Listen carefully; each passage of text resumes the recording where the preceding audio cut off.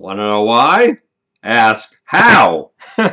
Howard, the humongous.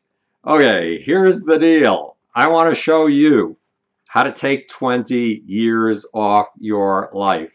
I want to show you how to be stronger than Mother Nature ever expected you would be.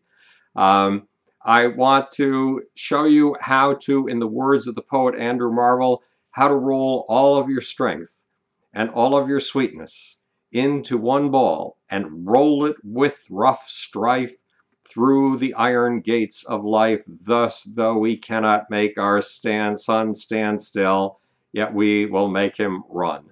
And the lesson begins with Bob Marley. You know that uh, my fascination after the age of 13, at the age of 10, it was, uh, it was cosmology and microbiology.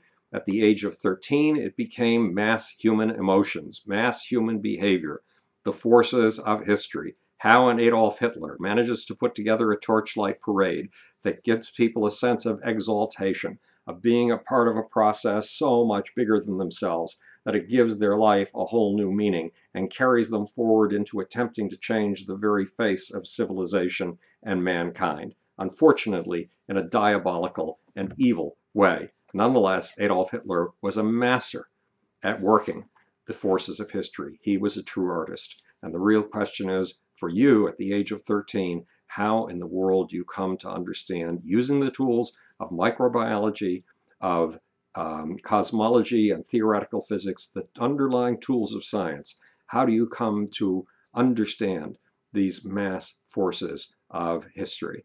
So at the age of God knows what, in 1968, the age of 25, when you graduate from college with four graduate school fellowships, and their fellowships in neurobiology and clinical psychology, you turn down all of them because you realize that none of them are going to carry you anywhere near the kind of mass, overwhelming eruptions of passion that make and change the forces of history. So you end up eventually on the track of these forces founding the biggest PR firm in the history of the music business and working with Prince, Michael Jackson, Bob Marley, Bette Midler, ACDC, Aerosmith, Kiss, Queen, Billy Joel, Billy Idol, Paul Simon, Peter Gabriel, etc. You know that story already.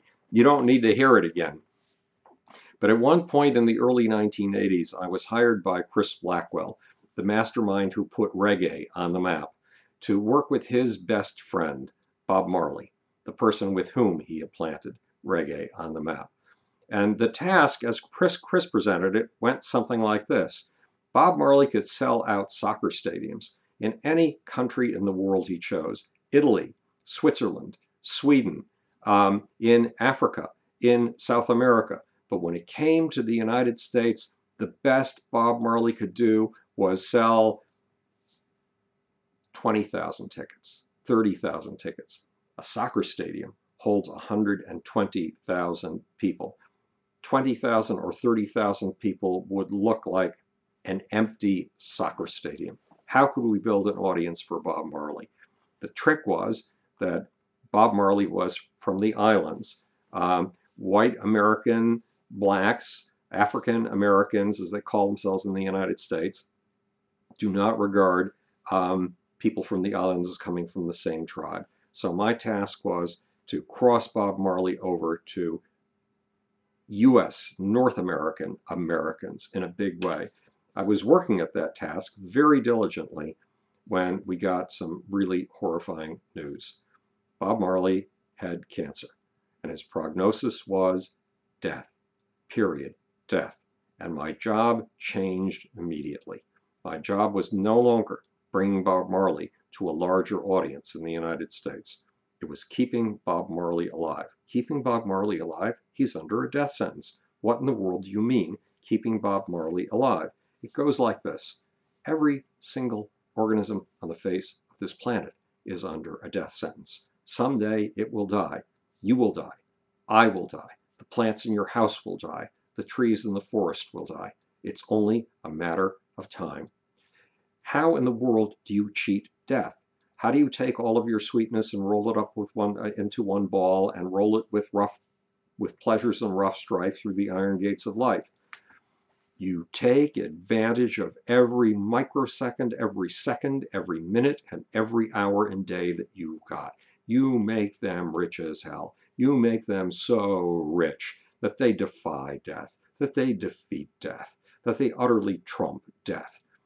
So my challenge became to make sure that when Bob Marley woke up in the morning, he perceived every day as living. And he perceived it as living in the richest way possible. What did that mean? Bob Marley was staying at a chalet in Switzerland so he could be near an alternative doctor that he had confidence in. Bob never traveled alone. He traveled with an entourage that was like a small tribe. It was 25 people.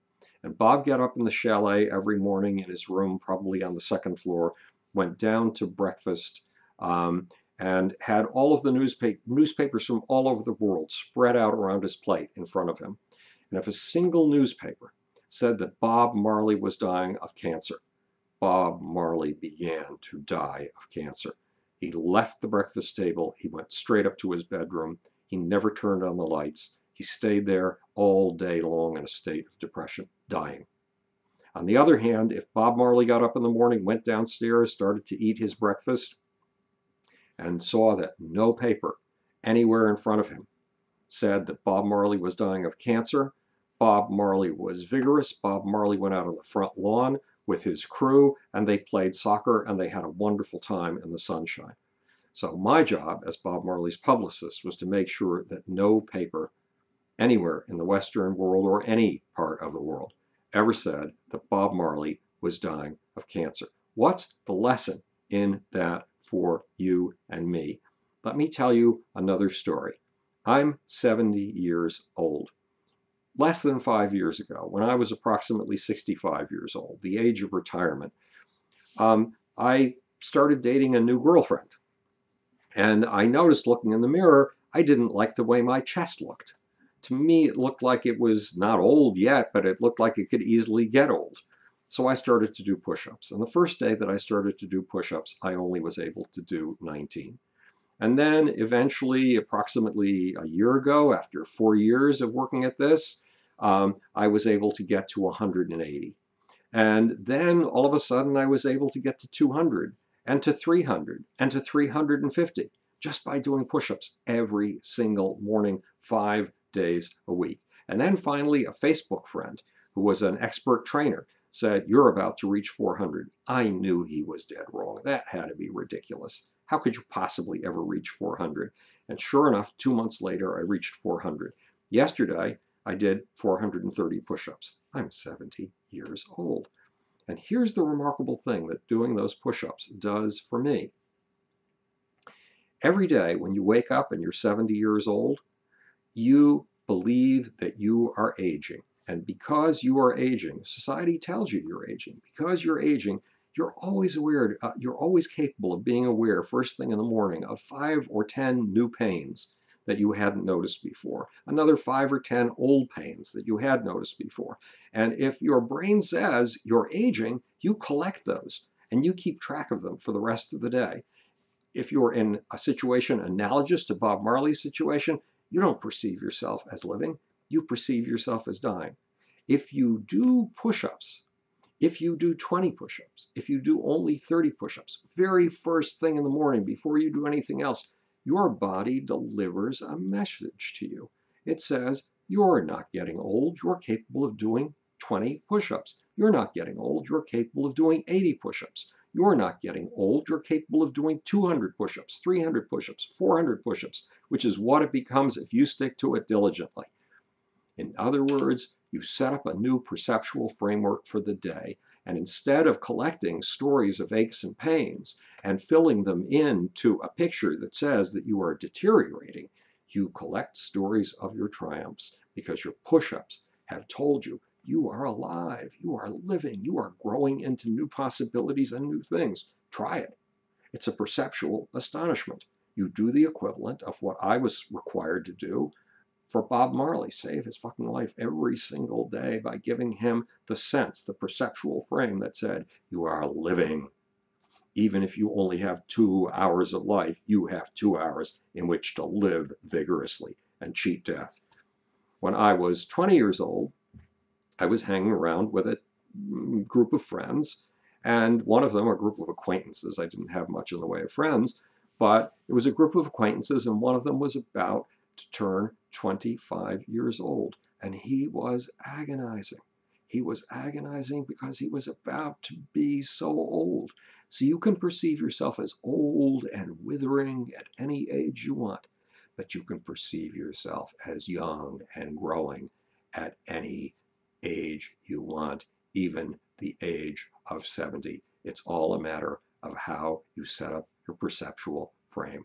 I recommend push ups first thing in the morning before you put on any clothes, before you do anything else. You will rapidly discover, if you stick to it for six months, that you are cheating death every single day of your life, that you are rolling all of your sweetness and all of your strength up into one bowl and tearing your pleasures with rough strife through the iron gates of life. This is Howard the Humongous speaking to you from the future. It's your job and my job to make.